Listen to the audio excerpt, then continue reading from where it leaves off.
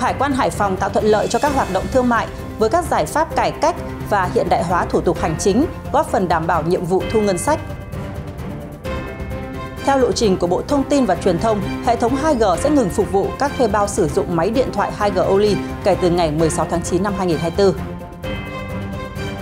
Tình trạng người dân sử dụng các loại phương tiện chở hàng công cành, các loại xe tự chế 3 4 bánh tham gia giao thông tiềm ẩn nguy cơ gây mất trật tự an toàn giao thông. Cùng nhiều thông tin đáng quan tâm khác, sau đây là nội dung chi tiết.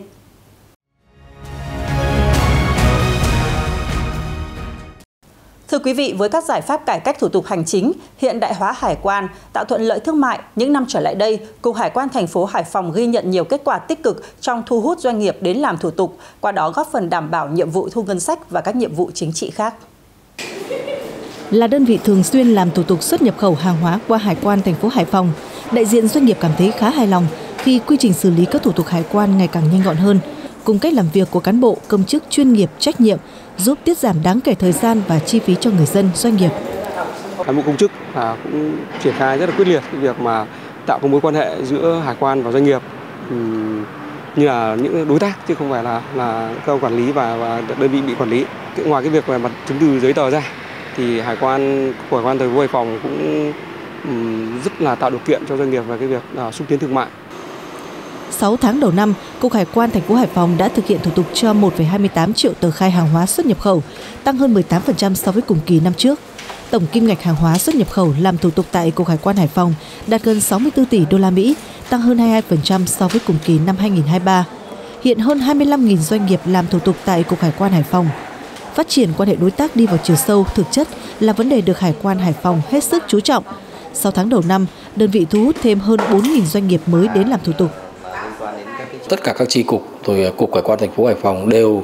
có các đường dây nóng từ cấp cục đến tri cục đến cấp đội rồi có các cái hệ thống giải quyết vướng mắc ờ, cho doanh nghiệp từ cấp tri cục đến cấp cục. Rồi à, có website trả lời ừ, vướng mắc rồi trả lời à, nghiệp vụ trả lời khó khăn vướng mắc cho doanh nghiệp. Thì cái việc này tất cả đều là nhằm với mục đích là thuận lợi nhất cho cộng đồng doanh nghiệp để đạt được các kết quả tích cực, Cục Hải quan Hải Phòng luôn chủ động triển khai quyết liệt đồng bộ nhiều giải pháp, trong đó chú trọng củng cố quan hệ đối tác hải quan doanh nghiệp. Ngay từ đầu năm nay, Cục Tham mưu Ủy ban nhân dân thành phố tổ chức hội nghị thành phố Hải Phòng đối thoại với doanh nghiệp xuất nhập khẩu với sự tham gia của gần 250 doanh nghiệp FDI, doanh nghiệp có kim ngạch xuất nhập khẩu và số thuế lớn năm 2023. Lắng nghe, giải đáp nhiều ý kiến thiết thực của cộng đồng doanh nghiệp. Cùng với đó, chỉ đạo các đơn vị tăng cường đối thoại, thông tin nhanh kịp thời các quy định hướng dẫn mới đến cộng đồng doanh nghiệp, triển khai thực hiện chương trình thí điểm hỗ trợ, khuyến khích doanh nghiệp tự nguyện tuân thủ pháp luật hải quan bằng các giải pháp cụ thể, mang lại hiệu quả thiết thực cho thành viên tham gia. Dự án đầu tư xây dựng cầu Nguyễn Trãi và chỉnh trang đô thị vùng phụ cận thực hiện thu hồi đất trên địa bàn quận Ngô Quyền đối với 54,43 ha liên quan tới 33 tổ chức và 182 hộ gia đình cá nhân thuộc hai phường Máy Tơ và Máy Chai, trong đó diện tích của các tổ chức doanh nghiệp chiếm hơn 80% diện tích thu hồi thực hiện dự án. Đến thời điểm này, trên địa bàn phường Máy Tơ đã giải phóng mặt bằng được 15 trên 21 tổ chức và 104 trên 166 hộ dân. Hiện nay, quận đã ban hành quyết định cưỡng chế đối với một số tổ chức và cá nhân chưa đồng thuận bàn giao mặt bằng, dự kiến sẽ triển khai trong tháng 8 tới. Đối với 18 hộ và 12 tổ chức thuộc phường Máy Trai, Ủy ban nhân dân quận đã ban hành thông báo thu hồi đất. Trung tâm Phát triển Quỹ đất lập chuyển thẩm định phương án bồi thường hỗ trợ đối với 3 trên 12 tổ chức từ ngày 26 tháng 6 năm 2024. Các tổ chức hộ dân còn lại đã tổ chức công khai niêm yết, lấy ý kiến về phương án bồi thường hỗ trợ từ ngày 2 tháng 7 năm 2024 dự kiến phê duyệt phương án bồi thường hỗ trợ tái định cư trước ngày 1 tháng 8 năm 2024.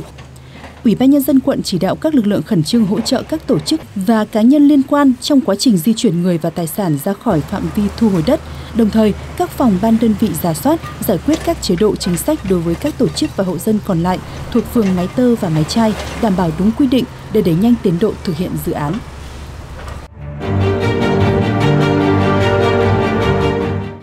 Lộ trình của Bộ Thông tin và Truyền thông, đến ngày 16 tháng 9 năm 2024, hệ thống 2G sẽ ngừng phục vụ các thuê bao sử dụng máy điện thoại 2G only. Mạng 2G là thuật ngữ chỉ các hệ thống thông tin di động thế hệ thứ hai, được triển khai từ năm 1990, sử dụng công nghệ di động mặt đất GMS. Điện thoại 2G không được chứng nhận hợp quy là các điện thoại chỉ hỗ trợ công nghệ 2G, không hỗ trợ 3G, 4G, 5G hay còn gọi là điện thoại 2G only. Trên thực tế, trước sự phát triển mạnh mẽ của công nghệ mới, mạng 2G không còn đáp ứng được yêu cầu của người dùng, trong khi chi phí vận hành lại tốn kém. Bởi vậy, chủ trương tắt sóng 2G là cần thiết. Hiện nay thì Vinaphone thì phối hợp với các cái ờ, ủy ban nhân dân các quận huyện, các xã phường ờ, thực hiện là tổ chức truyền thông ờ, thông qua hình thức phát loa uh, truyền thanh đến tất cả người dân trên địa bàn Hải Phòng. Theo thống kê, đến nay toàn thành phố có khoảng trên 2,5 triệu thuê bao điện thoại di động, trong đó có khoảng trên 300.000 thuê bao sử dụng thiết bị công nghệ 2G, chiếm khoảng 12%. Như vậy, theo lộ trình được Bộ Thông tin và Truyền thông đưa ra, chỉ còn chưa đầy 2 tháng nữa sẽ không còn thuê bao 2G only trên mạng lưới viễn thông Việt Nam. Bởi vậy, người dân cần chủ động chuyển đổi từ 2G sang 4G, 5G để có thể sử dụng thêm nhiều dịch vụ số. Thời gian vừa qua, mặc dù pháp luật có quy định cấm đối với những phương tiện chở hàng cồng cành, các loại xe tự chế 3 4 bánh tham gia giao thông, tuy nhiên, tình trạng người dân sử dụng các loại phương tiện này để chở hàng hóa lưu thông trái phép trên các tuyến đường vẫn chưa được khắc phục, tiềm ẩn nguy cơ gây mất trật tự an toàn giao thông. Không khó để có thể bắt gặp hình ảnh những chiếc xe tự chế chở hàng cồng cành lưu thông trên các đường trục chính, đường thôn xóm trên địa bàn huyện Tiên Lãng. Hầu hết những phương tiện này đều đã rất cũ kỹ nhưng lại chuyên chở những hàng hóa cồng cành. Trong khi người điều khiển loại xe này thường phóng nhanh vượt đầu đi ngược chiều. Thực trạng này đã và đang trở thành mối lo cho người tham gia giao thông và tiềm ẩn nguy cơ cao xảy ra tai nạn giao thông.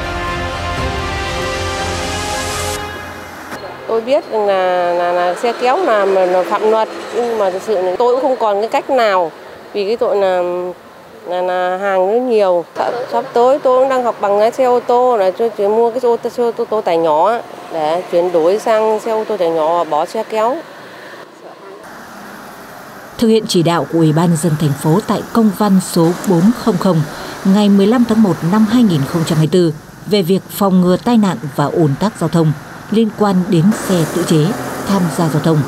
Thời gian qua, Công an huyện Tiền Lãng đã tăng cường huy động lực lượng tuần tra kiểm tra, kiên quyết xử lý các trường hợp vi phạm. Trong ờ, thời gian tới thì Công an huyện Tiên Lãng kết hợp với cả Công an các xã, cấp ủy chính quyền địa phương để tuyên truyền nhắc nhở, tiếp tục duy trì và đảm bảo tuần tra 24 trên 24 khép kín địa bàn để xử phạt ờ, tất cả các phương tiện ờ, liên quan đến kéo đẩy này và các xe tự chế. Thực hiện chỉ đạo của Ủy ban dân thành phố tại công văn số 400 ngày 15 tháng 11 năm 2024 về việc phòng ngừa tai nạn và ủn tắc giao thông liên quan đến xe tự chế tham gia giao thông. Thời gian qua, Công an huyện Tiên Lãng đã tăng cường huy động lực lượng tuần tra kiểm tra, kiên quyết xử lý các trường hợp vi phạm.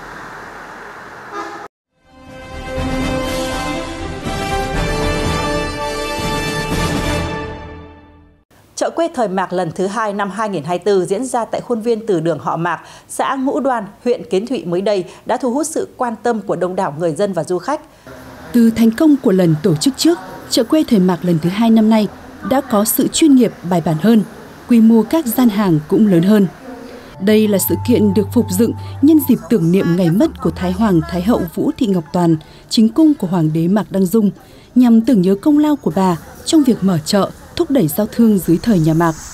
Sự kiện năm nay quy tụ nhiều sản phẩm ô cốp uy tín được trưng bày, giới thiệu tại khuôn viên từ đường.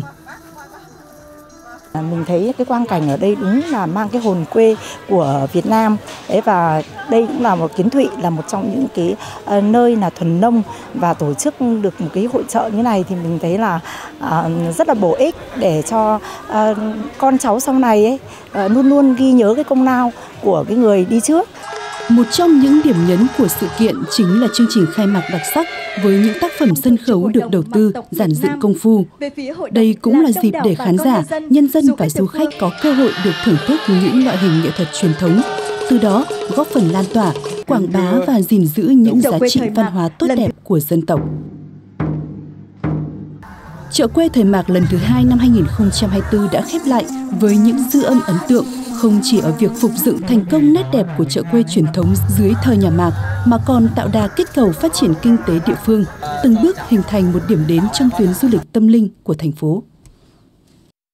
Thông tin vừa rồi đã khép lại bản tin Hải Phòng hôm nay 16 and Live. Xin kính chào tạm biệt. Hẹn gặp lại quý vị và các bạn vào khung giờ này ngày mai.